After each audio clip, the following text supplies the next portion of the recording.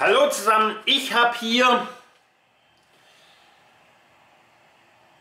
einen Katalog bekommen vom Bauhaus.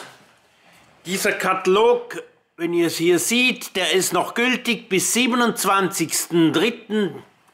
dieses Jahres, also noch einen knappen Monat. Und in diesem Katalog drin, da hat es eine Solar-Komplettlösung. Und unten, das hat mich stutzig gemacht, sonst würde ich mich das nicht benennen. Hier steht Kühlschrank, Laufdauer siebeneinhalb Stunden.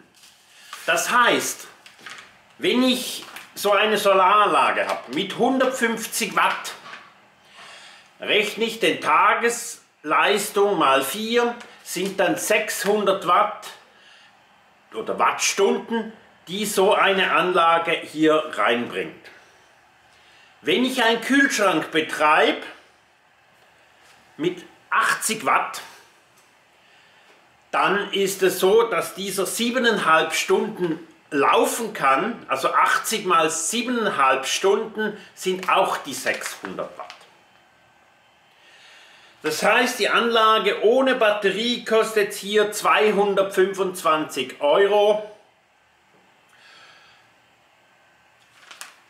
Wenn ich ja den Kühlschrank 24 Stunden betreiben will, was ja eigentlich vernünftig wäre, dann brauche ich drei solcher Anlagen. Nicht ganz, aber es wird reichen. Der, der hier diese Anlage ausgelegt hat oder diesen Text gemacht hat, der geht davon aus, dass ein Kühlschrank 80 Watt Strom braucht. Das stimmt, das trifft zu. 80 Watt braucht ein Kühlschrank, wenn ihr eine thermoelektrische Kühlbox betreibt, sogar fast mehr, die kann aber nur 15 Grad runterkühlen von der Umgebung. Oder wenn ihr eine Absorberkühltruhe ver verbaut, solche die mit 12, 220 und Gas läuft, dann auch oder wenn ihr einen Haushaltskühlschrank nimmt, so einen kleineren, so Tischmodell, und den über den passenden Wechselrichter betreibt. Der wird hier auch angeboten.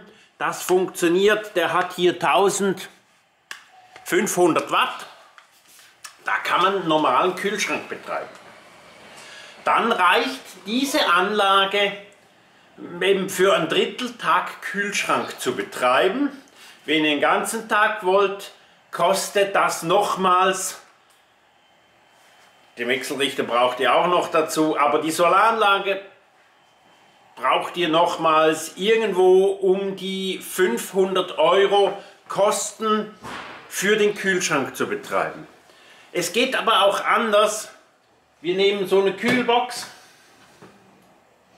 die hat einen Energiebedarf von sage und schreibe bei 5 Grad innen, 25 Grad außen von 5,4 Watt und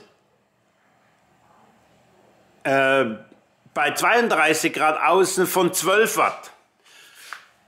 Das heißt, die braucht im Schnitt etwa 300 Watt Solarleistung, um diese Kühlbox direkt an 12 Volt, direkt auf der Batterie zu betreiben. Das heißt, ihr braucht eigentlich nur eine halbe Solaranlage, die hier angeboten wird von Bauhaus. Oder ihr habt die Solaranlage und könnt dann noch den Radio im Tag mit äh, Fernseher könnt ihr noch 22, den könnt ihr dann noch 12 Stunden betreiben. Also das Geld in eine Kühlbox investieren, dann habt die richtig funktioniert, die richtig wenig Energie braucht, dann braucht ihr nicht so eine doppelt oder dreifach so starke Solaranlage. Aber eben, es wird davon ausgegangen, dass eine Billigkühlbox verwendet wird oder ein Haushaltskühlschrank über einen Wechselrichter betreiben. Das braucht einfach zigmal mehr Energie wie eine vernünftige 12 Volt direkt betriebene Kompressorkühlbox. Ich mache euch hier einen Link über diese Kühlbox. Und hier über die größere und hier unten Link über die Solarkühlgeräte, die effektiv gebaut sind, zum an Solar zu betreiben. Ich wünsche euch einen schönen Tag.